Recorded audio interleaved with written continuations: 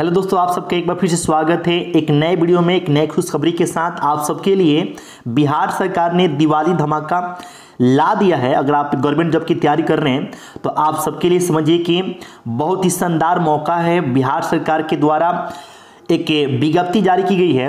देख सकते हैं आपकी स्क्रीन पर दिख रहा होगा कि बिहार सरकार राजस्व एवं भूमि सुधार विभाग, देखिए यहाँ पर, भू अभिलेख एवं परिमाप निदेशालय प्रेस विज्ञप्ति, विज्ञापन संख्या संविदा नियोजन सात ज़ीरो सात दो हज़ार बाईस। विशेष सर्वेक्षण, देख लीजिए यहाँ पे, विशेष सर्वेक्षण अमीन के पदों पर मानदेय आधारित संविदा के आधार पर नियोजन। मतलब कि अमीन के पदों पर वैकेंसी के संदर्भ में ये विज्ञप्ति आपको जारी की गई है। तो आप अगर अमीन बनना चाहते हैं तो समझिए कि आपके लिए ये विज्ञप्ति है, आपके लिए वैकेंसी है। टोटल कितनी वैकेंसी है? तो देखिए दोस्तों यहाँ पर बताया गया है कि 8,244 टोटल वैकेंसी है। और किस कैटेगरी के लिए कितनी वैकेंसी है उसका भी आपको यहाँ पर डिटेल मिल जाएगा आपको। आइए आपको समझा देते हैं बता देते हैं किस कैटेगरी के लिए कितनी वैकेंसी है। अनुसूचित जाति के लिए। अनुसूचित जाति का मतलब होता है एससी वाले जो बच्चे हैं उनके लिए टोटल 1301 वैकेंसी अनुसूचित जनजाति। का मतलब हो गया कि एसटी वाले जो बच्चे हैं, उनके लिए टोटल पचहत्तर वैकेंसी है, अत्यंत पिछड़ा वर्ग। का मतलब हो गया कि ईबीसी आप बोल सकते हैं बाईस वैकेंसी है। पिछड़ा वर्ग में आपका बीसी में नौ सौ सत्रह वैकेंसी है, और अगर आप पिछड़े वर्ग में महिला में देखें, महिला कैंडिडेट की बात करें तो दो सौ बयासी वैकेंसी है। अनारक्षित वर्ग अनारक्षित वर्ग का मतलब होता है, दोस्तों कि जो जनरल कैंडिडेट हैं उनके लिए टोटल 3,525 वैकेंसी है। आर्थिक रूप से मतलब कि इकोनॉमिकल जो पिछड़े हुए हैं उनके लिए जिसको आप ईबीसी बोल सकते बोलते हैं 700 टोटल 22 वैकेंसी है। क्लियर है दोस्तों? 722 वैकेंसी है। इस प्रकार से टोटल कितनी वैकेंसी रहने वाली है? तो टोटल आपको जो है 8,244 वैकेंसी आपको यहाँ पर बोला गया है। तो आप यहाँ पर देख लीजिए, यहाँ पर आपको हम और बताते हैं यहाँ पे। यहाँ पर पद नाम पद नाम आपका विशेष सर्वेक्षण अमीन है। अमीन का ये पद है टोटल और आरक्षण का जो यहाँ पर बात कहा गया है कि राज्य सरकार के आरक्षण नीति का पालन करते हुए आपको आरक्षण मिलेगा। इसके साथ साथ देखिए यहाँ पर ये भी बोला गया है कि बिहार राज्य के सरकारी पॉलिटेक्निक महाविद्यालय एवं आई ए आई से संबंध तथा मान्यता प्राप्त पॉलिटेक्निक संस्थानों से सिविल इंजीनियरिंग में डिप्लोमा प्राप्त अभ्यर्थियों के लिए सभी आरक्षण कोटि में 40 प्रतिशत आपको आरक्षण लागू होगा। यानी कि आपने अगर बिहार सरकार से या फिर बिहार सरकार, बिहार राज्य में आपने पॉलिटेक्निक से किया हुआ है मान्यता प्राप्त सरकारी संस्थान से तो आपको जो है आरक्षण का लाभ मिलने वाला है। विशेष आपका आरक्षण मिलेगा।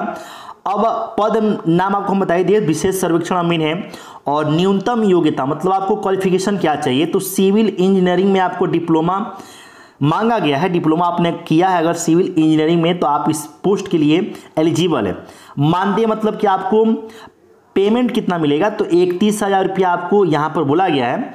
और विशेष आपको जो है, देख सकते हैं कि मोबाइल लैपटॉप व इंटरनेट बैग की प्रति पूर्ति चार हज़ार रुपया प्रति माह बारह माह के लिए आपको मिलेगा।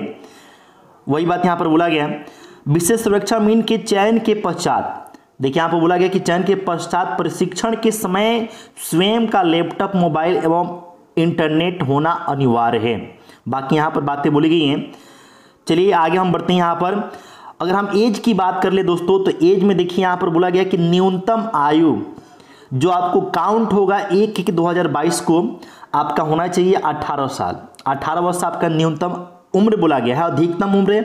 अगर आप जनरल कैटेगरी से मेल हैं तो आपके लिए अधिकतम सैंतीस वर्ष है। अगर आप जनरल से आप महिला है फीमेल है जनरल कैटेगरी से आप फीमेल हैं मतलब कि अनारक्षित वर्ष फीमेल है, महिला है, या फिर पिछड़ा वर्ग बीसी से एवं अत्यंत पिछड़ा वर्ग मतलब कि आप ओबीसी से मेल फीमेल हैं तो आप 40 वर्ष 40 वर्ष आपके लिए मैक्सिमम अधिकतम उम्र रखा गया है। अनुसूचित जाति अनुसूचित जनजाति के लिए मैक्सिमम मेल फीमेल दोनों के लिए आपका मैक्सिमम एज लिमिट कितना है? बयालीस वर्ष आप देख सकते हैं यहाँ पर, ठीक है? तो ये एज की क्राइटेरिया होगी दोस्तों। और अगर हम चयन प्रक्रिया की बात कर लें तो देखिए चयन प्रक्रिया में यहाँ पर ये बोला गया है। इस वाले सेक्शन में देखिए आपको चयन प्रक्रिया के बारे में बोला है कि मैट्रिक एवं डिप्लोमे डिप्लोमा में प्राप्त प्रतिशत प्राप्तांक के आधार पर मैट्रिक के लिए अधिकतम अधिकतम आप देख लीजिए दोस्तों यहाँ पे, अधिकतम आपको 10 अंक का वेटेज, मैट्रिक के लिए आपको 10 अंक का वेटेज आपको मिलेगा और डिप्लोमा में अधिकतम 90 अंक का वेटेज मेघा सूची मतलब कि इसके लिए आपको कोई अलग से एग्ज़ाम नहीं देना है। ये, इसका जो सिलेक्शन होगा, ये आपके मेरिट बेस पर होगा। आपने मैट्रिक में मैट्रिक में और जो आपने डिप्लोमा में डिप्लोमा में आपका जो नंबर्स हैं, जो मार्क्स हैं, उसी के बेस पर आपका सिलेक्शन होने वाला है। मैट्रिक में आपका जितना परसेंट है, उसका दस परसेंट लिया जाएगा। आपके डिप्लोमा में जितना परसेंट है, उसका नाइन्टी परसेंट लिया जाएगा। और तब आपका मेरिट दोनों को जोड़ के तब मेरिट बनाया जाएगा। क्लियर आपको हम एग्ज़ाम्पल के रूप में समझा देते हैं। मान लीजिए कि कोई कैंडिडेट ऐसा है जिसका मैट्रिक में 80 परसेंट नंबर है। और डिप्लोमा में उसका 70 परसेंट नंबर है। तो मैट्रिक में 80 परसेंट है तो 80 का 10 परसेंट निकाले, निकालेंगे तो आठ आएगा मतलब कि मैट्रिक के लिए उसको आठ अंक मिलेगा। और डिप्लोमा में उसका सत्तर परसेंट है तो डिप्लोमा का चूँकि नाइन्टी परसेंट लेना है तो सत्तर का नाइन्टी निकालेंगे तो सिक्सटी थ्री आएगा। तो मैट्रिक का आठ हो गया, डिप्लोमा का सिक्सटी थ्री हो गया। अब दोनों को जोड़ देंगे, यहाँ पे देखिए दोस्तों तो सेवेंटी वन आपका क्या आएगा? मेघा सूची का अंक आ गया। मतलब कि आपका मेरिट के लिए आपका कितना बन रहा है? आपका नंबर बन रहा है इकहत्तर। और इसके आधार पर आपका देखा जाएगा कि भाई आप जो है मेरिट के लिए एलिजिबल है या फिर नहीं है। जितने भी अप्लीकेशन पड़े हैं, उसके आधार पर आपका कट ऑफ़ पूरा बनेगा। तो उसके लिए आपका मेघा सूची ऐसे तैयार किया जाएगा। मेरिट लिस्ट आपका ऐसे बनेगा। क्लियर है दोस्तों? तो आप जो है, आप इसके लिए आवेदन ज़रूर करें दोस्तों। आवेदन आवेदन करने की जो तिथि है, इक्कीस दस दो हज़ार बाईस। मतलब कि आज ही से, आज आपके इक्कीस तारीख है। और हो सकता है कि आप वीडियो बाद में देख रहे हो, लेकिन हम जिस समय वीडियो बना रहे हैं, उस समय इक्कीस तारीख है और इसका अंतिम डेट है।